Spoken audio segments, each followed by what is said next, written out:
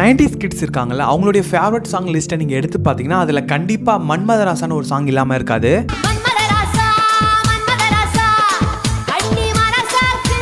எந்த அளவுக்கு இந்த சாங் அவங்களுக்கு ரொம்ப பிடிக்கும்னு பார்த்தீங்கன்னா திருடா திருடி படம் தேட்டரில் ரிலீஸ் ஆன அந்த டைமில் படம் தேட்டரில் ஓடிட்டு இருக்கு மன்மதராசா சாங் வந்தோடனே அந்த தேட்டரில் இருக்கிற நிறைய பேர் எழுந்து செம்மையாக டான்ஸ் ஆடி செலிப்ரேஷன் பண்ணியிருக்காங்க.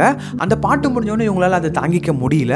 அதனால தேட்டர் ஓனர் கிட்ட போயிட்டு இந்த பாட்டு நோட்டை மட்டும் போடுங்க அப்படின்னு சொல்லியிருக்காங்க. பட் தேட்டர் ஓனர் அதெல்லாம் போட முடியாதுன்னு சொன்னதுனால இவங்க கோவத்திலேயே போயிட்டு படம் ஓடிட்டு இருக்கும்போது அந்த ஸ்க்ரீனே கிழிச்சிட்டாங்க. இந்த ஒரே ஒரு பாட்டுக்காக. இவங்க ரெண்டு பேருமே டான்ஸ் ஆடிட்டு இருக்கும்போது பேக்ரவுண்டில் புழுதி பறக்கிற மாதிரி ஒரு இடத்த காமிச்சிருப்பாங்கல்ல. அந்த இடம் எதுன்னு சொல்லிட்டு என்னைக்குன்னா நீங்க யோசிச்சிருக்கீங்களா? கே ஜி எஃப் கேஜிஎஃப் இந்த விஷயம் உங்களுக்கு ஷாக்கிங்காக இருக்குல்ல? உங்களுக்கு ஷாக்கிங்காக இருக்கா இல்லையா எனக்கு தெரியல. பட் இந்த விஷயம் எனக்கு நேற்று தான் தெரியும். இதை கேட்டோன்னே நான் செம்மையாக ஷாக் ஆயிட்டேன். பிகாஸ் கேஜிஎஃப் படம் பார்த்ததுக்கு அப்புறம் தான் எனக்கே தெரியும். கேஜிஎஃப்னு ஒரு தங்க சுரங்கம் இருக்கு. அது பெங்களூருக்கு பக்கத்தில் இருக்குன்னு சொல்லிட்டு. அதுக்கப்புறம் கேஜிஎஃப் தங்க சுரங்கத்தை பற்றி நிறைய ரிசர்ச் பண்ணி யூடியூப்ல ஒரு வீடியோ கூட போட்டிருக்கேன். வீடியோ ரொம்பவே நல்லா இருக்கும் பட் வியூஸ் மட்டும் போகல. கீழே லிங்க் கொடுத்துருக்கான் வேணா ஓப்பன் பண்ணி பாருங்க. இந்த பாட்டில் தனு செம்மையாக டான்ஸ் ஆடிருப்பார் ஆனால் அவர் டான்ஸ் ஆடும்போது அவருக்கு செம்ம ஃபீவரா ஃபீவரோட கவுண்ட் எவ்வளோன்னு பார்த்தீங்கன்னா நூறு ஃபாரானீட்டான் என்ன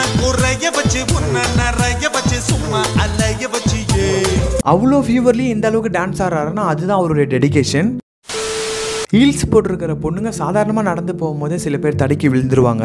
எத்தனை பேர் இதை கவனிச்சிங்கன்னு தெரியல. இந்த சாங்ல ஆடின ஹீரோயின் இந்த பாடல் முழுக்கவே ஹீல்ஸ் போட்டு தான் ஆடி இருப்பாங்க அதுவும் சிமெண்ட் தரையில் கிடையாது. கேஜிஎஃப் புழுதில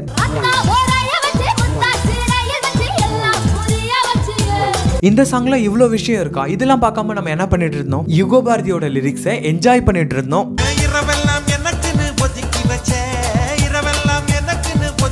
விஜய் அண்ணாவுக்கு இந்த பாட்டில் அண்ணா பொண்ணோட டான்ஸ் ரொம்ப ரொம்ப பிடிக்குமா? நான் உங்ககிட்ட ஒன்று கேட்கணும் அந்த மன்மதராசா சாங்கில் அதை எப்படி அப்படி ஆடினீங்க? அதனால திருப்பாச்சி படத்துல கூட அந்த பொண்ணை கூப்பிட்டு ஒரு பாட்டுக்கு டான்ஸ் ஆட வச்சிருப்பாரு. கோபத்துல கோபத்துல வந்திருக்கேன்டா நீ மஞ்ச தண்ணி மஞ்ச தண்ணி நினைத்தாலே இனிக்கும்னு ஒரு படத்துல கண்ணதாசன் எங்கேயும் எப்போதும்னு ஒரு சாங் எழுதியிருப்பாரு. இந்த சாங்குக்கு ரஜினி கமல் ரெண்டு பேருமே சேர்ந்து டான்ஸ் ஆடி இருப்பாங்க. சங்கீதம் சந்தோ இந்த பாட்டு வெற்றிமாறனுக்கு ரொம்ப ரொம்ப பிடிக்குமா? அதனால தன்னுடைய படத்துல இந்த பாட்டை ரீமிக்ஸ் பண்ணி யூஸ் பண்ணணும் அப்படின்னு சொல்லிட்டு அவருக்கு ஒரு ஆசையா? அதனால தன்னுடைய முதல் படத்துல இந்த பாட்டை ரீமிக்ஸ் பண்ணி யூஸ் பண்ணியிருப்பாரு.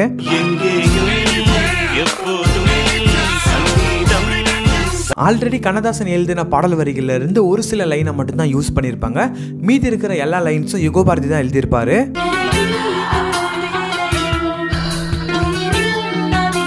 நாம கண்ணதாசன் அளவுக்கு நல்லா எழுத முடியலனாலும் கொஞ்ச நாச்சும் நல்லா எழுதணும்னு சொல்லிட்டு யுகோபாரதி பதினஞ்சு நாள் கஷ்டப்பட்டு இந்த பாடலுக்கான பாடல் வரிகளை எழுதியிருக்காரு. இந்த பாட்டில் சில ராப் லைன்லாம் வரும். அதெல்லாம் யோகிபி தான் பாடியிருப்பாரு. ஆனால் யோகிபிக்கு அப்போ தமிழே தெரியாதான். அதனால அவர் பாடணும்னு சொல்லிட்டு ரொம்ப ஈஸியாகவே பாடல் வரிகளை எழுதியிருப்பாரு யுகோபாரதி. ஆசை துடிக்க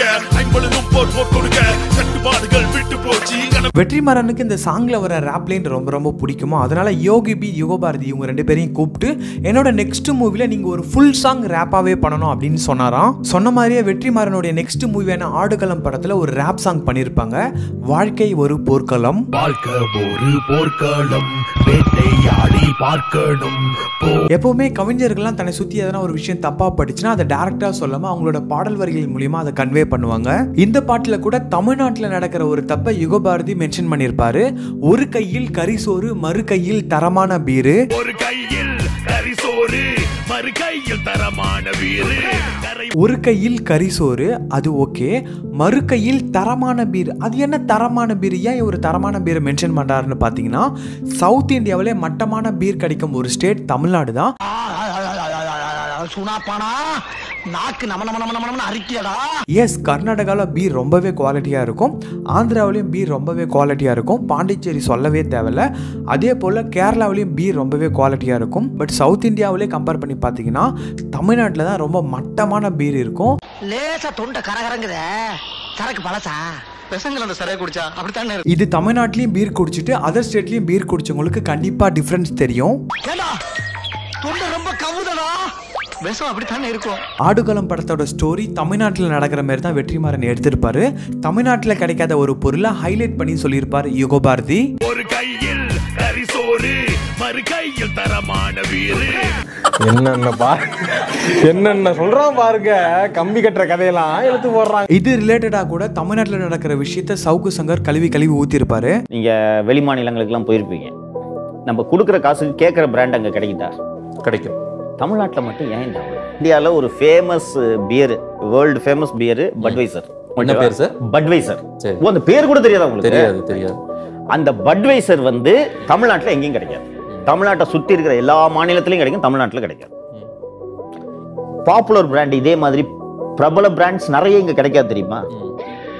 என்ன காரணம்னா ஒரு கேஸுக்கு இவ்வளோ வேணும்னு மாமூல் கேட்கும் யுகபாரதிக்கு கடவுள் நம்பிக்கை இருக்கா இல்லையான்னு தெரியல பட் காதல்ல காமம்னு ஒரு விஷயம் இருக்குன்னு சொல்லிட்டு நம்புறாரு. யுகபாரதி எழுதின நிறைய சாங்ஸ்ல இதை மென்ஷன் பண்ணியிருப்பாரு. காமம் விலக்கி விட்ட காதல் சும்மா. காதலில் காமம் உண்டு உண்டு. உப்பில்லா உணவம் தப்பு செக்ஸில்லா காதல் தப்பு. யுவன் சங்கர் ராஜா இது வரைக்கும் விஜய்க்கு ஒரு படத்துக்கு தான் மியூசிக் போட்டிருப்பாரு. அந்த ஒரு படத்துலயும் யுகபாரதி ஒரு பாடல் எழுதியிருப்பாரு. வசியக்காரி வசியக்காரி பழைய வீசி போறாளே. இந்த பாட்டுல ஒரு லைன் செம்மையா எழுதியிருப்பாரு. காதல் என்றும் தும்மல் போல காமம் என்றும் விக்கல் போல. காதல் என்றும் தும்மல் போல காமம் என்றும் விக்கல் போல. காதல் என்றும் தும்மல் போல. தும்மல் வந்து எப்போ வரும் எப்படி வரும்னு யாருக்குமே தெரியாது. அதே போல தான் காதலும். காதலும் எப்போ வரும் எப்படி வரும்னு யாருக்குமே தெரியாது. காமம் என்றும் விக்கல் போல. விக்கல் வந்து யாருன்னா ஒருத்தவங்க நினைச்சாதான் வரும். அதே போல தான் காமமும் யாருன்னா ஒருத்தவங்க நினைச்சாதான் வரும். காதல் என்றும் தும்மல் போல காமம் என்றும் விக்கல் போல. வைரமுத்து போலவே யுகபாரதியும் டபுள் மீனிங்ல நிறைய சாங் எழுதியிருக்காரு. அதை நம்ம ஒன் பை ஒன்னா பார்க்கலாம். ஃபர்ஸ்ட் சாங் எம்புட்டு இருக்குது ஆசை. பள்ளம் அறிஞ்சு வெள்ளம் வடிய. உங்களுக்கு புரியும் நினைக்கிறேன். அடுத்த லைனும் இதுக்கு ஏத்த மாதிரி எழுதியிருப்பாரு. இதே பாட்டுல அடுத்த லைன் பாருங்களேன். பார்க்காதத இப்போ நீ காட்டிட. ஹீரோ இதுக்கு முன்னால பார்க்காதத ஹீரோயின் ஏதோ காமிச்சிருக்காங்க போல. இருக்கும்? எனக்கு என்னடா தெரியும்? கேளுடா. போல ஏறுதே சந்தோஷம். காமிக்காததை காமிச்சா எல்லாருக்கும் சந்தோஷமா தானே இருக்கும். அதுவும் விஷத்தை போல ஏறுதான். அடுத்த பாடல் ஒரு ஓர ஓர பார்வை. படுத்தாலும் கூட பாதிராவில் தேடுறேன் உன. பாதி நைட்ல எழுந்து இந்த பொண்ணை ஏன் தேடுறாரு? புரியலையே. இதோட அடுத்த லைன் பார்த்தா புரியும்னு நினைக்கிறேன். நான் தான் உப்பு முட்டை தூக்க வேணும். அந்த நைட்ல எழுந்து ஏன் உப்பு மூட்டை தூக்குறாரு. ஒன்னும் புரியலையே. இருங்க அடுத்த லைன் பார்த்தா புரியும்னு நினைக்கிறேன். கொஞ்சம் கூட நோகாமலே மெத்த வேட்டையாடணும் ஒரு வழியா புரிஞ்சிடுச்சு. அந்த மிட் நைட்ல எழுந்து அந்த பொண்ணை ஏன் உப்பு மூட்டை தூக்குறாருன்னா கொஞ்சம் கூட நோகாமலே மெத்த வேட்டையாடணும் ஏன் காட்டுலலாம் போய் வேட்டையாட மாட்டீங்களா? மெத்தையில தான் வேட்டையாடணுமா? அடுத்த பாடல் எங்கேயும் எப்போதும். இல்ல புரியல. ஸ்லோ மோஷன் ஆப்பிள் பழுத்து ஆடை குலுங்கவா? இவ்வளோ ஓப்பனா சொன்னா எப்படி ப்ரோ அடுத்த பாடல் லாலா கடசாந்தி. பாலும் கொதிச்சிருக்குது பாயும் மிரிச்சிருக்குது ஆனா அது எதுக்குன்னு தெரியாதா? தெரிஞ்சிடுச்சு. பாலும் பாயும் எதுக்கு? ஃபர்ஸ்ட் நைட்டுக்கு தானே? காயும் கணிஞ்சிருக்குது பாயும் நனைஞ்சிருக்குது ஆனா அது உனக்குன்னு புரியாதா? இருங்க இருங்க. காயும் கனிஞ்சிருக்குது. ஓகே அது கூட ஓகே. பாயும் நனைஞ்சிருக்குது. பாயா நனைஞ்சிருக்குது. பாய் நனைஞ்சா எப்படி தூங்க முடியும்? அந்த பொண்ணு ஏன் அப்படி பாடுறாங்க. ஆனா அது உனக்குன்னு புரியாதா? எதை மீன் பண்றாங்க? நிஜமா எனக்கு புரியல. உங்களுக்கு புரிஞ்சதுன்னா கமெண்ட்ஸ்ல சொல்லுங்க. யுகபாரதி நிறைய ஐட்டம் சாங் எழுதியிருந்தாலும் எனக்கு ரொம்ப ரொம்ப பிடிச்ச ஒரு ஐட்டம் சாங் நான் காக்கி நாடா கட்ட.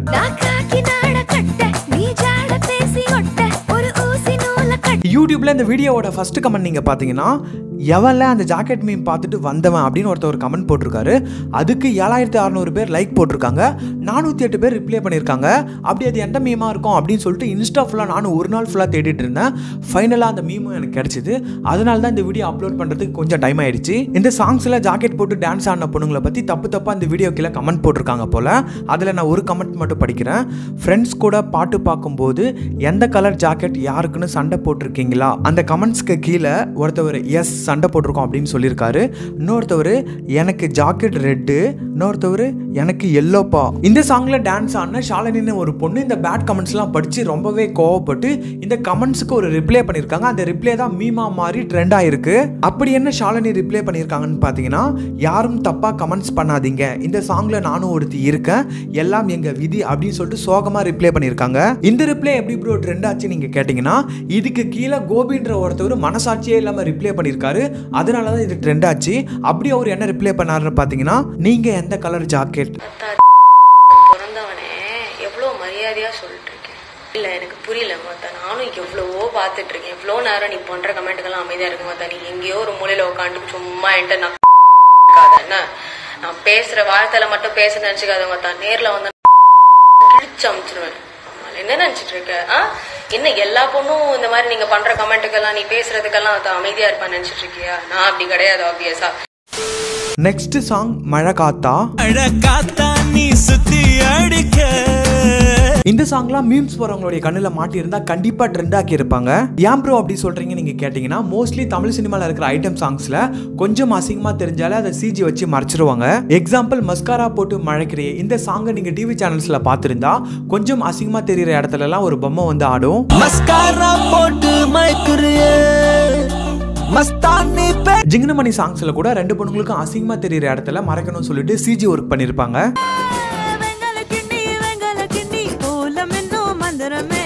ஆனால் இந்த சாங்ல பிரியா ஆனந்துக்கு ரொம்பவே அசிங்கமாக தெரியும். சிஜி ஒர்க்கும் பண்ணியிருக்க மாட்டாங்க. அந்த சீனையும் கட் பண்ணி எடுத்திருக்க மாட்டாங்க. எயிட்டீன் ப்ளஸ்ஸாக இருந்தால் நீங்களே பாருங்க. அடுத்த வீடியோ தெரியும் போல. இது எப்படி டேரக்டருக்கு தெரியாம போச்சு? சென்சார் டீமுக்கு எப்படி தெரியாம போச்சு? இதே போல ஹனி ஹனின்னு ஒரு சாங்ல டாப் அங்கல்ல இருந்து எடுத்திருப்பாங்க. அதுல அசிங்கமா தெரியுதுன்னு சொல்லிட்டு சிஜி ஒர்க் பண்ணிருப்பாங்க.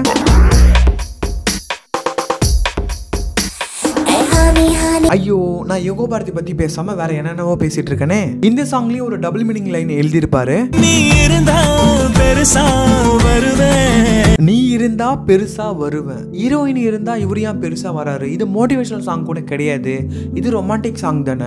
இந்த லைனை சொன்னதுக்கு அப்புறம் ஏன் ஹீரோயின் கோவப்பட்டு ஹீரோவை அடிக்கிறாங்க? நீ இருந்தா பெருசா வருவேன். இந்த சாங்ல ஒரு கியூட்டான ஒரு லைன் இருக்கும். அழக புத்தகமா பொழுதும் வாசி கடைசி பக்கம் வர முழுசா நேசி. கடைசி பக்கம் வர முழுசா நேசி. நல்லா இருக்குல்ல? மீண்டும் ஒரு மொக்க வீடியோல சந்திக்கலாம். Okay bye bye see you miss you love you புஜு புஜு.